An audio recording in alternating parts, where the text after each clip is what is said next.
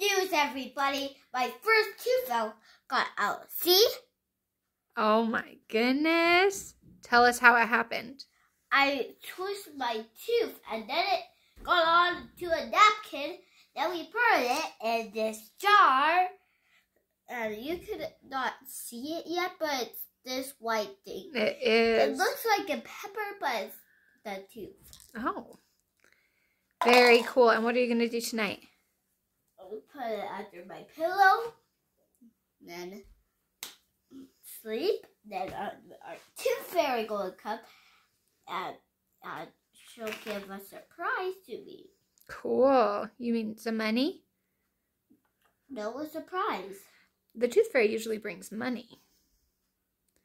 So you can choose out your own surprise. You better show us your smile. Oh my goodness. Exciting. Congratulations. That's a big deal. And I, when I put my tongue to my tooth, I can't even feel it. Isn't that crazy? Way to go, Bubby. That was great.